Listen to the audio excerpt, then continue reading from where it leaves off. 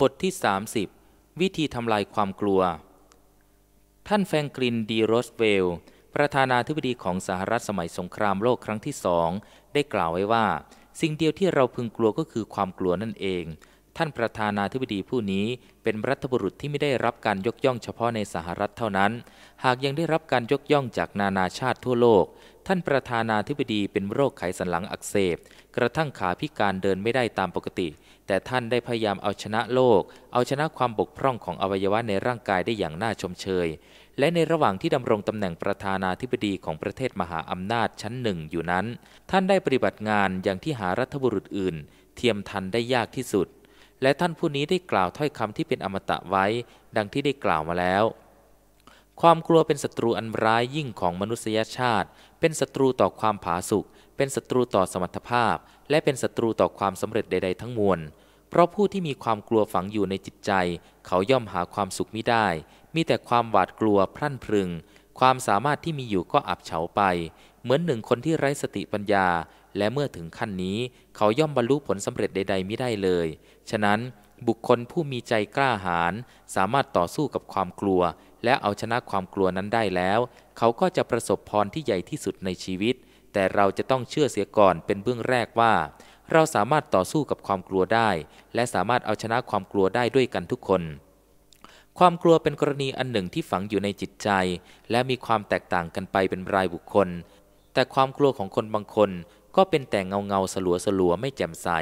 แต่ความกลัวบางอันก็แจ่มชัด และเป็นความกลัวที่แท้จริง แม้ความกลัวของเราจะเป็นอย่างไรก็ตาม แต่ความกลัวเหล่านั้น ก็มีลักษณะคล้ายคลึงกันเป็นส่วนมาก และวิธีการที่เผชิญกับความกลัว และเอาชนะความกลัวเหล่านั้น ก็มีความคล้ายคลึงกันเป็นอันมาก เหตุนี้นักจิตวิทยาจึงได้วางข้อแนะนำในการเผชิญกับความกลัว เมื่อมันอุบัติขึ้น 4 ประการด้วยกัน ดังจะได้นำมาเสนอท่านผู้อ่านไว้บ้างดังนี้ 1. จงเผชิญกับความกลัวนั้น เมื่อความกลัวอุบัติขึ้นในจิตใจ จงเผชิญกับความกลัวนั้นอย่างตรงหน้า อย่าทำเป็นลืมหรือไม่นึกถึง เพราะการทำเช่นนั้น มันจะฝังลงในอนุสติ กลายเป็นสิ่งที่ฝังจิตฝังใจทำให้แก้ไขได้ยาก จนนำความกลัวนั้นออกมาสู่ที่แจ้ง พิจารณาดูให้ถ่องแท้ว่า เมื่อเราเผชิญกับความกลัวโดยตรงแล้ว ความกลัวนั้นจะสูญไปหาไม่ได้ แต่ถ้าว่าจะทำให้เราต่อสู้กับความกลัวขั้นต่อไปได้ 2. คาดคะเนขนาดและพิษสงของความกลัวนั้น เมื่อได้เผชิญกับความกลัวอย่างตรงหน้า และอย่างเปิดเผยแล้ว เราต้องอย่าลืมความจริงว่า ความกลัวนั้นเป็นเรื่องที่เรากลัว และเราต้องอย่าแซงทำเป็นว่าเราไม่กลัวเป็นอันขาด เมื่อคิดได้ดังนี้จะทำให้เราอยู่ในฐานะที่จะมองเห็นสภาพ และอิทธิฤทธิ์ของความกลัวของเราได้อย่างแจ้งชัด ความกลัวบางอย่างดูเหมือนจะไม่คุ้มค่ากับที่เราจะไปกลัดกลุ้มวิตกกังวล ความกลัวบางอย่างดูมากมายใหญ่โต เพราะเราคิดไปเอง ต่อเมื่อใดที่เรานำมาพิจารณาอย่างจงแจ้งแล้ว เราจึงเห็นว่ามันไม่มีอิทธิฤทธิ์อย่างใดเลย แต่ความกลัวบางอันก็เป็นความน่ากลัวที่แท้จริง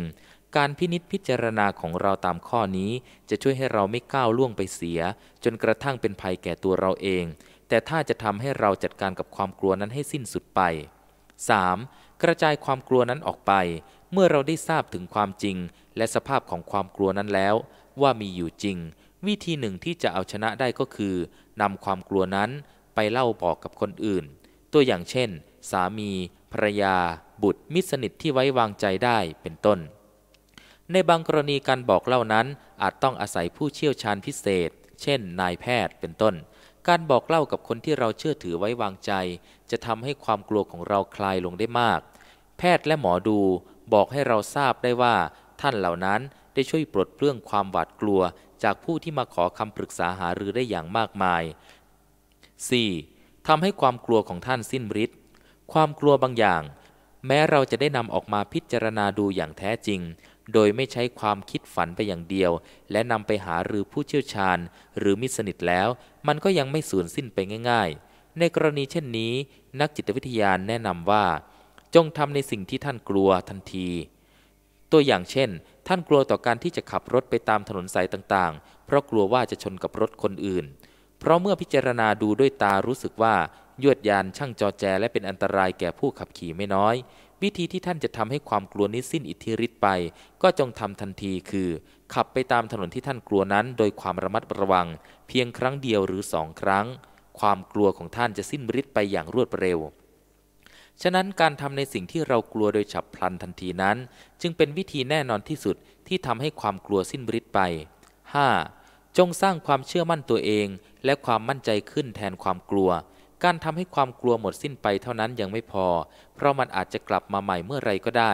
ฉะนั้นเราต้องปลูกฝังความคิดอะไรอันหนึ่งลงไปในช่องว่างนั้น แทนความกลัวที่ปราศนาการไป เพื่อมันจะไม่กลับคืนมาอีก สิ่งที่เราควรปลูกฝังลงไปแทนที่ความกลัวนั้นก็คือ ความเชื่อตัวเอง ความมั่นใจในสิ่งที่ตนทำว่าจะต้องเป็นผล เพราะเมื่อเรานำเอาความคิดที่เข้มแข็ง มั่นใจ เชื่อตัวเองฝังลงไปในจิตใจแล้ว มันก็จะขับไล่ความคิดอ่อนแอออกไปจากจิตใจของเราได้อย่างเด็ดขาด วิธีการดังกล่าววันนี้เป็นข้อแนะของนักจิตวิทยาที่มีชื่อ หวังว่าคงจะเป็นประโยชน์แก่ท่าน ผู้มีความกลัวในบางเรื่อง ฝังอยู่ในจิตใจได้บ้างตามสมควร